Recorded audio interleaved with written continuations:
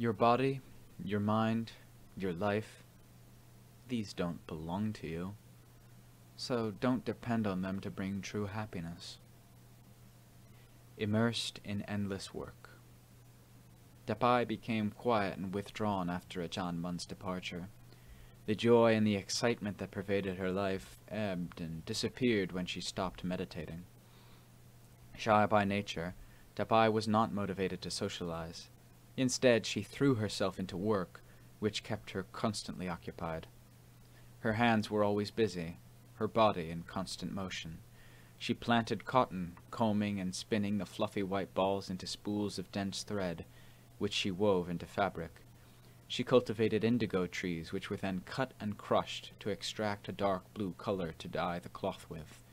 She sat at the loom for hours, teasing out spools of silk and cotton thread to weave fabric, which she meticulously cut and sewed into looped skirts and loose-fitting blouses, and then dyed in pretty patterns. She continued to plant mulberry trees to raise silkworms. She spun the raw silk thread, weaving it into coarse garments, suitable for the rigorous conditions of village life. She showed her dexterity at basket weaving as well, shaping bamboo and rattan threads into light, durable basketware with artistic flair. She sewed pillows and mattresses and stuffed them with soft cotton wool. She knitted woolen cloth for the winter chill.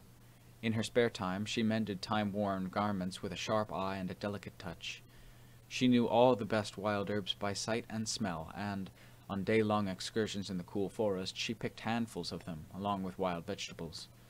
Returning home in the evening with baskets full, Tapai chopped and sliced her findings, then cooked the raw roots and leaves with bits of meat or fish to create a wholesome, tasty meal. Tapai's multiple talents turned heads in the Phu Tai community. Young women with traditional skills were lauded and considered to be exceptional brides. Besides that, she possessed other prized traits, such as stamina, dependability, loyalty to family and tradition, as well as respect for elders. Before long, suitors began to appear. One, in particular, a neighborhood boy one year younger than Tapai, named Boonma, was emboldened to make a proposal to her parents.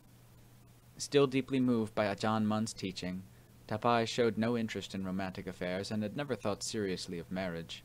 But when her parents consented to Boonma's proposal, she was not prepared to disobey their wishes. Perhaps it was inevitable now. Part of this worldly life she must be content to live, for the time being.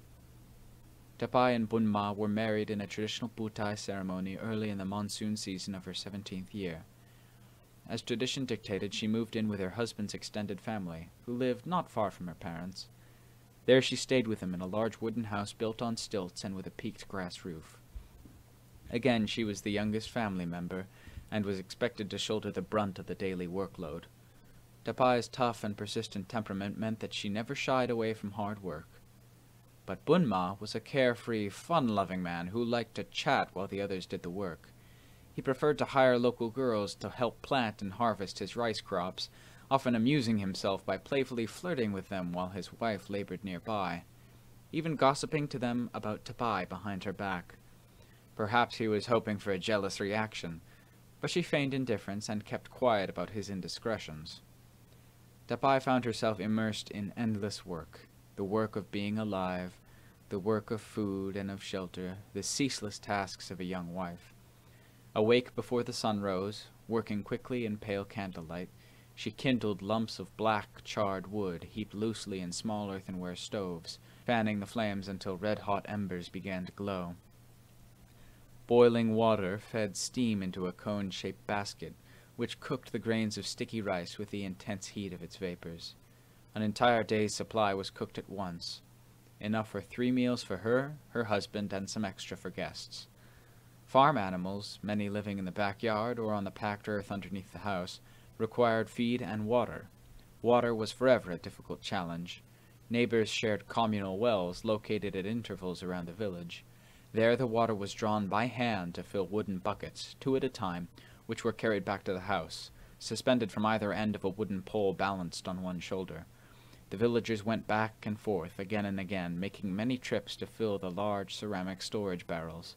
It was an exhausting task, but it had to be done. Water was needed for drinking and washing, washing dishes, washing clothes, and washing dirt and grime from the body after another long, sweltering day. Village life was inextricably bound to the growing of rice. In turn, rice was dependent on the rains, the annual cycle of rejuvenation. Rain was auspicious, it was celebrated, but it also meant more work, more strenuous, inescapable labor. Plowing began in early May, when the fallow earth soaked up the first heavy downpours. Pairs of enormous water buffaloes were yoked to cumbersome wooden poles and driven repeatedly to one end of the field and back again to loosen the earth. Then they were driven back and forth yet again to trample the clods into mud. Rice seedlings were sprouted in nursery plots and carefully tended, often with water collected from a stream during dry spells, until the rice shoots were ready for planting. Planting was done in rows by groups of women in a timeless choreography. Bending at the waist, the village women walked backwards through thick, cloying mud to place the shoots into the ground. The rainy season transformed the countryside into a moist, green patchwork of intersecting rice fields overhung with skies that were heavy with rain. The surrounding hills grew thick with bamboo, and a scrim of fine drizzle softened the outlines of the lush landscape. Rice shoots stood in jagged rows above the still water in which the fields were submerged. The mornings were quiet and hazy with humid heat, and the evenings crackled with the sound of frogs croaking at the edge of the fields and geese clattering in the ponds.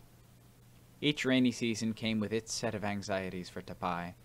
She worried about too little rain in August, when the southwesterly winds began to subside, and flooding in September, when typhoons pounded the land and the rains came down hard, slashing the countryside in sheets.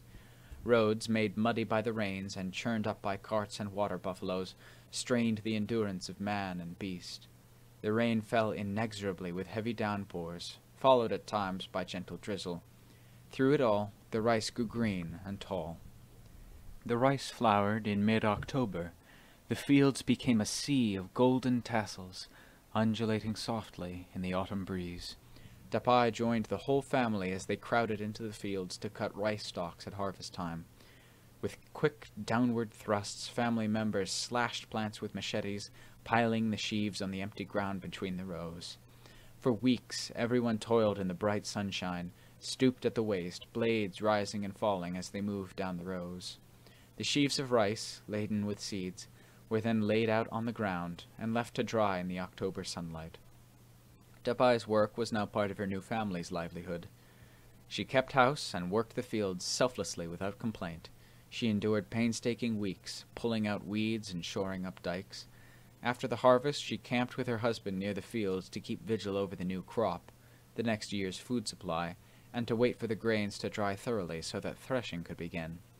Since threshing and winnowing was women's work, this meant that Tapai and the other women had to spend more chilly nights sleeping in the open when the day's work was over.